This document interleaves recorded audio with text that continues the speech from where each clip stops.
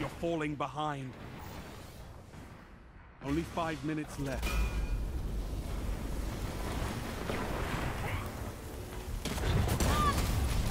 Double down. Yes! Three down! Look at them fall! You're in the lead.